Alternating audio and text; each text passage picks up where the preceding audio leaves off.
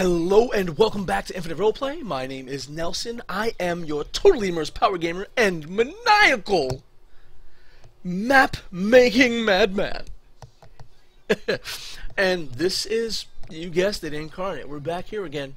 Uh, and they made a, a minor change, a minor update to Inkarnate in the fact that if you remember the issue with having to scroll down to uh, adequately interface with the last few buttons, you no longer have to do that.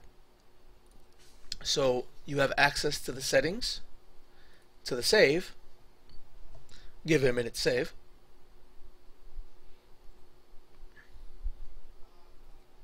minute and a half maybe, and uh, the export feature.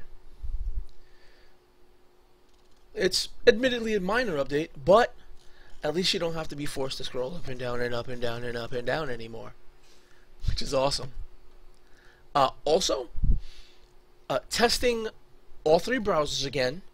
I, I really don't want to go through the pain of opening up Internet Explorer again since the camera's on, but unfortunately, Internet Explorer, Explorer is still bugged in the fact that the export feature isn't working.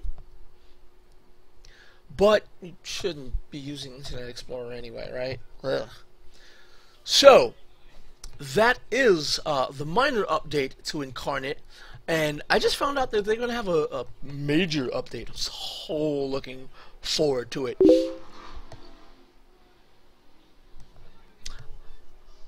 Almost like that motorcycle. I'm looking forward to riding a motorcycle. Now, I'm looking forward to the update that's coming out for Inkarnate.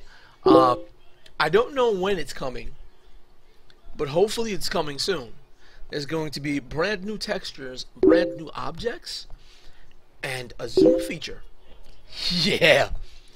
Gonna get that zoom feature, which is going to be, uh, I'm hoping a lot better than forcing Chrome to zoom in and have to work with it that way. So uh, when that update comes out, I'm definitely going to be delving right back in Inkarnate and showing you everything that I could possibly do and anything uh, you ladies and gents would like me to try to do with Inkarnate. Until that time, I'm Nelson. This has been Infinite Roleplay, and always remember to keep cool, get all your crafts on, and never ever let anyone or anything limit your creativity. Peace.